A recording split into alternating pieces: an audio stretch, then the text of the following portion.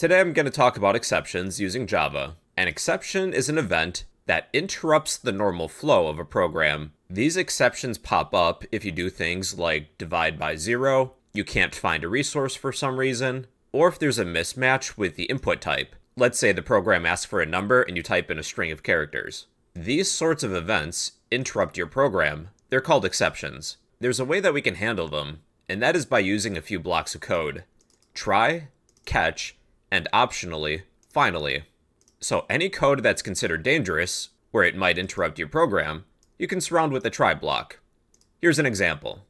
So let's say I'm going to take the number 1 and divide it by 0.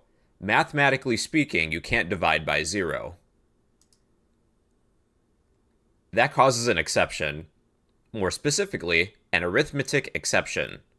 I'm actually just going to copy this and save it.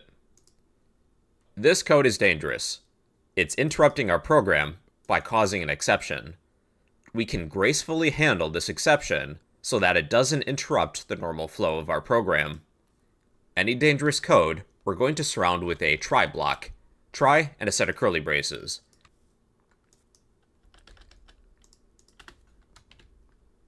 There we go.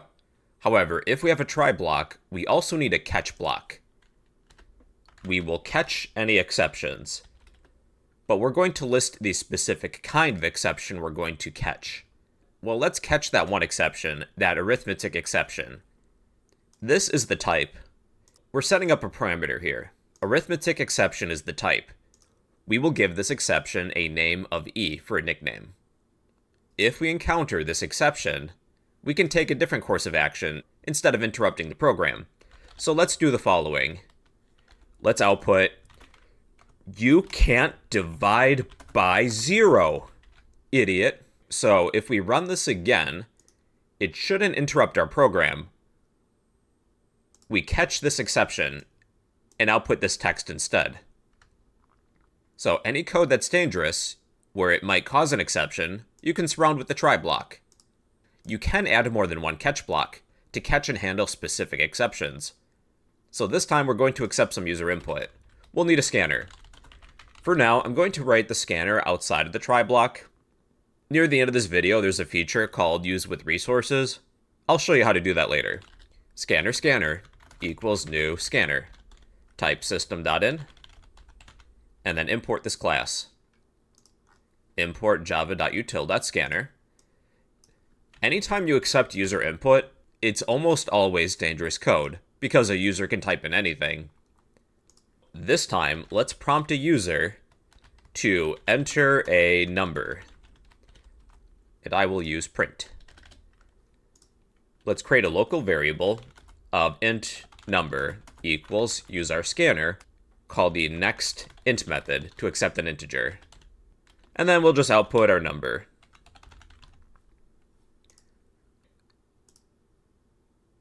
Enter a number. Uh, how about no? I'm going to type in the word pizza instead. Well, we get an exception. An input mismatch exception. Java was expecting an integer, but we typed in a string instead. We can handle these exceptions too. And I'm just going to copy the name of this exception, because we'll reuse it. Let's catch the following. Let's catch any input mismatch exceptions. This is the type we will give this exception a nickname of e. So this exception we actually do have to import. Import java.util.input mismatch exception. In case there's a mismatch with the data type, we're asking the user for a number, but they type in a string. Let's output the following. Let's say that wasn't a number. Let's try it again. Enter a number. Uh, I'll type in the word, I already did pizza, let's do taco. That wasn't a number. And our program finished with no problems. You can catch and handle more than one exception. There is a catch-all statement that you could add. You could catch all exceptions, exception E. Using this by itself isn't good practice. You want to let a user know exactly what went wrong. If all else fails, and there's an exception that you don't anticipate, you could just say, something went wrong. You could technically use this by itself. Enter a number. For example, I'll type in hot dog. Something went wrong. This does prevent our program from being interrupted. It is good practice to let the user know what went wrong exactly. I'm looking at you, Microsoft. Catching all exceptions acts as some sort of safety net. You should only do it at the end, in case there's something you don't anticipate. It is better to catch and handle specific types of exceptions, because you can let the user know what went wrong exactly. Now, there's also the finally block. This is optional. Finally will always execute, whether there's an exception or not. This is where you might clean up any resources. For example, with my scanner, I forgot to close it. We can actually close it within the finally block. When we're done with our scanner, let's close it.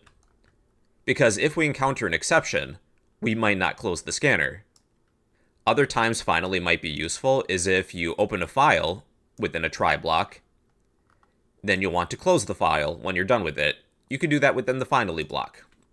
For testing purposes, I'm just going to add this always executes.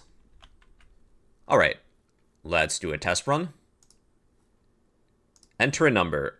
I'll type in 123, and then we output 123. See, that finally block does execute this always executes.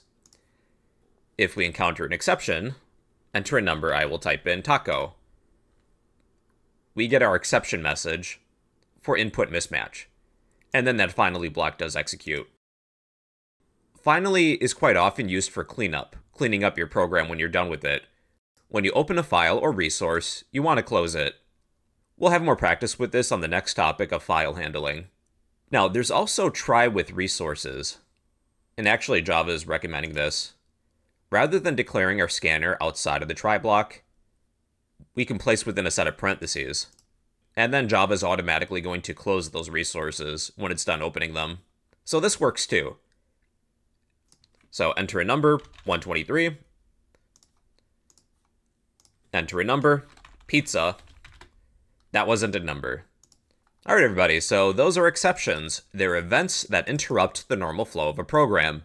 Exceptions occur when you divide by zero, you can't locate a resource, or there's a mismatch of the input type that a user types in. You'll want to surround any dangerous code with a try block.